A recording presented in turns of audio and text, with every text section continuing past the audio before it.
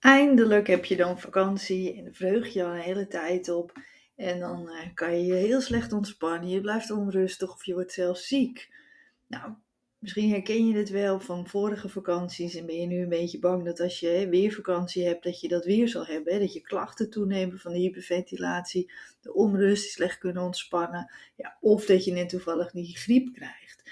Nou, daar wil ik het met je over hebben in deze podcastaflevering van Hyperventilatiecoach. Alle uitleg en alle tips en alles rondom hyperventilatie kan je vinden op mijn website www.hyperventilatiecoach.nl. Dus neem zeker ook daar een kijkje. Met de vakantie, die lange verwachte tijd van ontspanning, avontuur misschien ook wel en nieuwe ervaringen. En maar wat gebeurt er dan vaak? Je wordt ziek.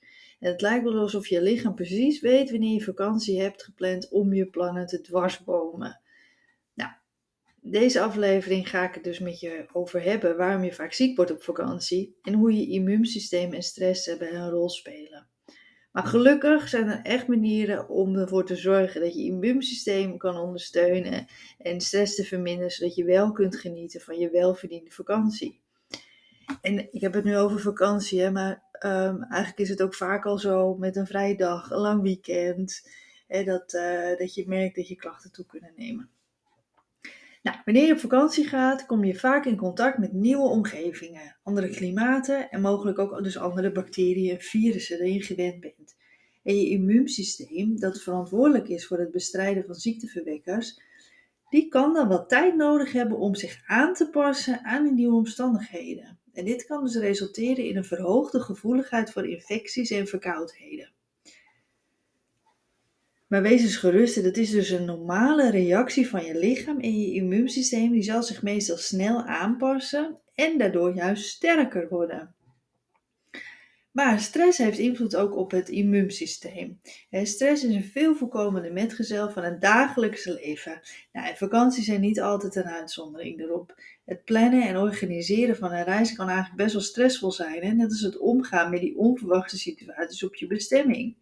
Misschien zie je er heel erg tegenop en je weet niet precies hoe en wat. En de reis is best wel intensief. En dus eigenlijk alles rondom een vakantie kan best wel stressvol zijn. Nou, stress heeft namelijk ook invloed op je immuunsysteem. Onderzoek heeft aangetoond dat langdurige of chronische stress het immuunsysteem kan verzwakken, waardoor je vatbaarder wordt voor infecties. En daardoor kan het zijn dat je immuunsysteem net op het moment dat je vakantie hebt, hè, dat het wat verzwakt is, waardoor je dus sneller ziek wordt. Dus als je langdurige stress hebt of last van hyperventilatie, kan het dus zo zijn dat je immuunsysteem wat verzwakt is. En heb je vakantie en in een vreemde omgeving waar je dus andere, hè, andere virus en bacteriën tegenkomt, hè, dat kan dan net eventjes te veel zijn, waardoor je net dat buikgriepje bijvoorbeeld oploopt. Um, maar dan hebben we ook nog vaak dat je gewoon slecht kunt ontspannen op vakantie. op vakantie denken we vaak, hè hè, eindelijk eventjes tijd om te ontspannen en alles los te laten. Maar heel vaak wil dat dan juist niet lukken. Je voelt je opgejaagd en onrustig en je hebt geen rust om eens even lekker niks te doen of rustig dat boekje te lezen. Hoe kan dat nou, hè? als we in ons dagelijks leven eigenlijk te weinig rust en pauzes nemen, maar juist maar door en door gaan, dan is het heel lastig voor je lichaam om af te schalen naar rust.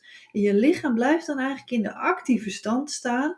Nou, als je dat merkt, en misschien heb je dat al op je vrije dag of in het weekend, dan is dat echt een signaal dat je in je dagelijks leven veel meer tijd voor rust en ontspanning zal moeten gaan maken niet kunnen ontspannen, continu maar in je hoofd druk blijven of lichamelijke onrust ervaren op de momenten dat je eventjes tot rust kan komen, is echt een alarmbel die zegt van hé, hey, dit gaat niet goed, je hebt echt meer ontspanning en rust nodig. Dus dat is heel erg belangrijk. Hè, dat je gaat luisteren naar je lichaam uh, voordat je op vakantie gaat eigenlijk al. En want eh, die, um, die onrust die je vaak voelt op vakantie, dat komt ook heel vaak omdat we voor die vakantie denken van, oh nog even dit, nog even dat, nog even doorbijten, even doorzetten en direct heb ik vakantie. Waardoor je jezelf best wel veel druk oplegt. Je moet je werk nog even afmaken, misschien wil je je huis nog even poetsen. Eh, je denkt, ah, kom op hoor, nog even dit en dat doen. Misschien moet je nog die ene verjaardag nog even afgaan. Waardoor het vaak best wel druk is voordat we dan vakantie hebben. Dus je lichaam die is eigenlijk gewoon best wel moe in je hoofd. Omdat je nog zoveel moet en moet. Dus die is een super parate toestand eigenlijk. En dan heb je vakantie en dan duurt het vaak gewoon eventjes een tijdje voordat je af kan schalen en tot rust kan komen. Dus eigenlijk is het belangrijk en het beste om voordat je vakantie hebt, eigenlijk al eventjes terug te gaan en al wat minder te gaan doen. En dus als je wel op vakantie gaat en je, je moet je tas nog inpakken, zorg ervoor dat je dat allemaal ruim van tevoren doet. Die boodschappen die je dan voor op het laatst nog even wilt halen, nou zorg dat je die ook alvast in huis hebt. En waardoor je niet zo gestrest aan je vakantie begint. En dat is gewoon heel erg belangrijk. En dat je echt probeert uh, ja, wat meer je rust te pakken. En ook mocht je dan wel wat klachten krijgen op je vakantie, ja, zorg er dan voor dat je, ja, geef het dan toch maar een beetje aan toe. Het is niet leuk, maar ja, het is wel een signaal van je lichaam dat hij even tot rust wil komen. En probeer dan de drukte van je reisschema toch een beetje te verminderen en geef jezelf echt de tijd om te herstellen. zet bijvoorbeeld juist rustige activiteiten op je planning, wandelen, lezen of ontspannen bij het zwembad. En je dan niet door door te gaan alsof er niets aan de hand is. Je lichaam heeft echt rust nodig om te herstellen. Nou, en ook soms kan je dan ook een beetje je verwachtingen proberen aan te passen. En accepteer dat je misschien niet alles kunt doen wat je gepland had, maar wees flexibel en pas je, ja, pas je plannen aan aan je huidige conditie en, en energieniveau. En vergeet ook niet dat vakantie bedoeld is om te ontspannen en te genieten. Maar vooral voordat je op vakantie gaat, neem al meer rust. Zorg goed voor jezelf. Zorg dat je alvast goed gaat eten, hè, dat je weerstand alvast goed omhoog is. Neem wat meer je rust en doe wat ontspannen. En denk niet, ah, nog even en dan heb ik vakantie en dan ga ik dit doen of ga ik dat doen en ga ik pas ontspannen. Nee, begin daar voor je vakantie al mee. Je zal echt merken dat je op je vakantie veel eerder in een ontspannen toestand komt. En dat je dus veel meer uiteindelijk aan je vakantie zal hebben. En ook dat je je daardoor sterker voelt, waardoor je minder last zal krijgen van je hyperventilatieklachten. Maar het heeft ook nog meteen een heel positief effect op je immuunsysteem. En waardoor je beter meer kracht en energie heeft om, uh, ja, om te werken tegen al die ziekteverwekkers.